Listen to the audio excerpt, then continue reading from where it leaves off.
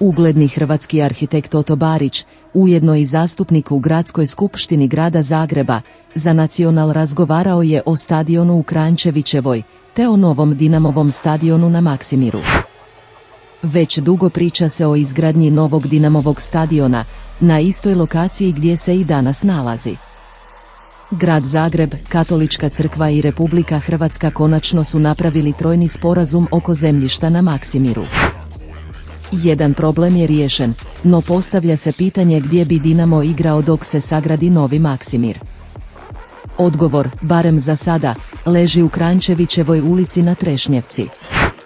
Sa izgradnjom novog stadiona u Krančevićevoj trebalo se krenuti krajem 2023. godine, no do toga ipak nije došlo.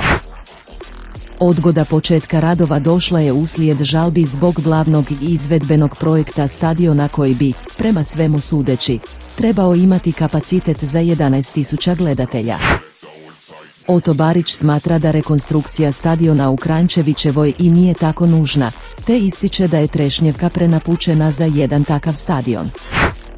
Barić smatra da ima puno boljih opcija na području Zagreba za izgradnju privremenog Dinamovog stadiona, a kao primjer navodi Sesvete.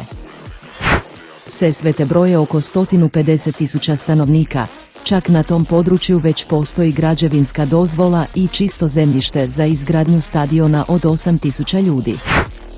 Idejno rješenje Sesvetskog stadiona već se ranije moglo vidjeti po medijima, a da li bi stadion izgledao baš kao na ovoj prezentaciji, to je još nepoznanica. Ukoliko gradska vlast ostane pri svojoj odluci da se privremeni Dinamov stadion gradi u Krančevićevoj, Barić smatra da bi zbog gustoće prometa i svakodnevnih gužvi na spomenutoj lokaciji taj projekat mogao biti završen tek na proljeće 2027. godine. Za novi stadion u Krančevićevoj grad bi izdvojio oko 26 milijuna eura. Ideja za stadionom u Sesvetama dobra je ideja, a hoće li je usvojiti gradske vlasti grada Zagreba, ostaje nam da vidimo. Pišite nam u komentarima koja lokacija je po vama najbolja za izgradnju privremenog Dinamovog doma.